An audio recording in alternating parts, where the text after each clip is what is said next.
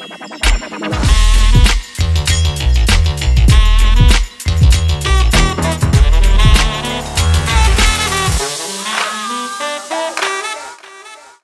up everybody? In this tutorial I am going to show you how I would take a one shot of any sound, doesn't matter what it is, a one shot of a sample that could just be a synth hit or like a pluck of something, throw that into Ableton Live and then we're going to take that one shot and we're going to line it up so that it matches all the notes on an actual piano or MIDI keyboard for you to play back in Ableton Live. Alright, so I found a one shot audio sample.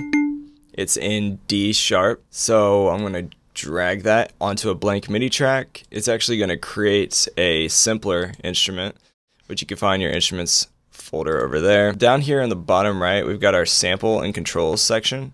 So if I click on controls, now this is where you can transpose the key of this note. So I'm actually going to pull it down three semitones because because if we look at the notes on a keyboard, then we can see that this is this black note is D sharp and I'm going to go down three semitones. So it's one, two, and then we get to middle C, which is three.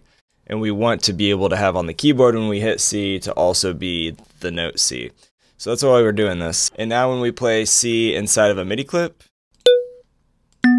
it's going to be actually C that's playing. Let's listen to what we have so far in this drop I'm building.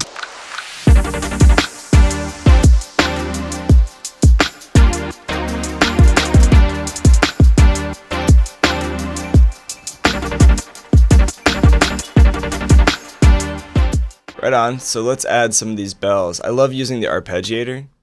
And if I hold down some notes, let's see what we get.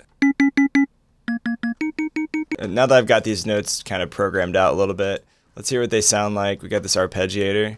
Maybe we'll make it go up, down, kind of change the progression of the notes played. And uh, yeah, let's see this.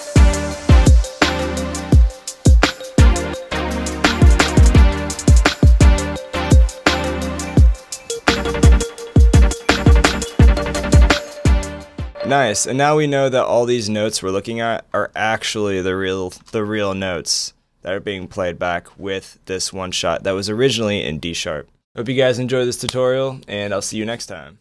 If you want to go deeper with producing music, I would be glad to help you work on your projects. You can access all of my Ableton Live courses from DJing to live performance to just getting started in Ableton Live. There's a lot of stuff in there. Uh, access the membership and you can access monthly coaching sessions with me so you can send me your projects. I'll tell you how bad they suck or how awesome they are and we can work on them together and help you reach your goals producing music in Ableton Live. Just go to liveproducersonline.com for more info and I will see you guys next time.